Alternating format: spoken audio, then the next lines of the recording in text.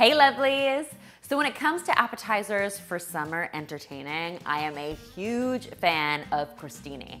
It's really easy to make, but of course the flavor possibilities are endless. And today I'm gonna show you three yummy ways to prepare it that will totally wow your guests. So to get started, for each of these three recipes, of course, we need to make our crostini. Now to do this, I am using just a plain baguette, and I'm going to cut it into thin slices. When it comes to making crostini versus a traditional garlic bread, let's say, it's important your slices are pretty thin because you want them to be really, really crisp, as opposed to sort of soft and chewy in the center. That way, your toppings really are the star of the show. I'll arrange my slices on a baking sheet and brush each of them with a little bit of olive oil. If you wanted to use the melted butter here instead, that is definitely an option as well. But of course, olive oil keeps things just a bit lighter. Then, pro tip, if you want to amp up the flavor of your crostini even more, go ahead and take half a clove of garlic and simply rub the cut side on the surface of your bread before baking it. It infuses your crostini with this beautiful garlic essence without overpowering it. Super good. I also recommend hitting each of your crostini with just a little sprinkle of salt, because of course we love to season things as we go. And these are headed into the oven at 350 degrees Fahrenheit, and they'll usually cook up in between six and eight minutes. You wanna keep a really close eye on them because of course you want them to be nice and crispy, but not burnt. And I will say that can be a fine line sometimes. Once your crostini are prepared, you can get thinking about your toppings. Our first delicious crostini topping is actually going to be just a classic bruschetta recipe or bruschetta, depending on where you're from. Of course, with any great bruschetta recipe, this one starts with some beautiful ripe vine tomatoes. Sometimes I find with a bruschetta recipe, all of the chunks of tomatoes are just too big and overpowering. I like a nice fine chop, and that's what I've done here. To that, I'm adding some shallot that I've just minced. You wanna make sure, again, you have a nice fine mince going. I've got some basil, classic summery flavors, basil and tomato. I'm also going to add just a drizzle of good quality olive oil to this, and then I'm going to grate in some garlic. Grating your garlic in a case like this is always a great idea. That way no one bites into a big chunk of garlic, because that's not delicious. And that's how easy bruschetta is to make. Can you believe some restaurants charge like $15 for like four slices of this? Then of course, just a little salt and pepper goes a long way. Now it's just a matter of piling this deliciousness high on our lovely crostini. Don't be shy, everyone. Load it up. I like a lot of bruschetta in every bite.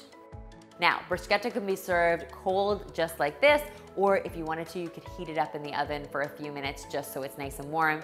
I have to say, sometimes the simplest recipes are the best recipes, and this is one of those times.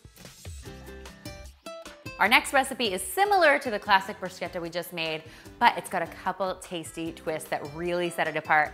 To get started, I've got some gorgeous roasted red peppers that I've really finely chopped in my bowl.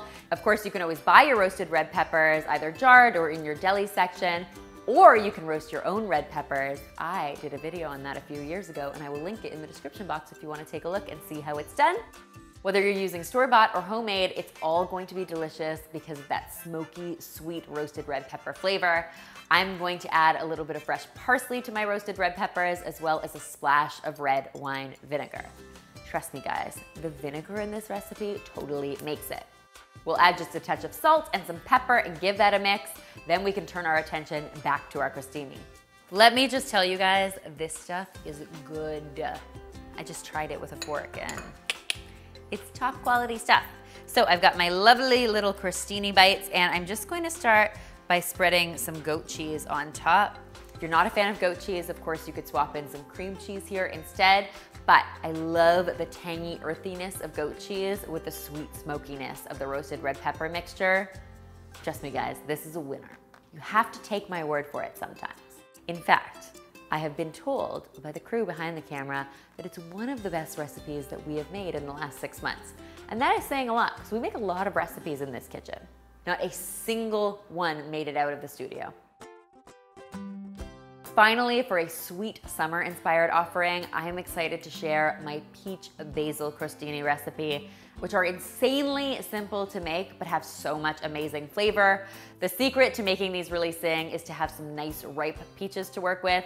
As you can see, I've got my peaches finely diced in my bowl. To that, I am going to add some freshly chopped basil, as well as a little honey for some additional sweetness.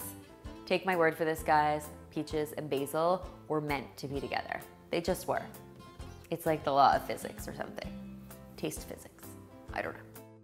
Once again, we are going to get our cheese on our crostini. In this case, I'm actually using a really nice smooth ricotta cheese, which has a really lovely texture and adds richness to this. You could do this with some goat cheese as well. Both are really tasty. Ricotta is a little sweeter and a little nuttier. Of course, goat cheese is a little tangier and a little earthier. Then I'm going to pile my peaches on top. Serve this up with just a drizzle of balsamic glaze and you have got one killer appetizer your friends are going to be talking about until next summer when you make it again.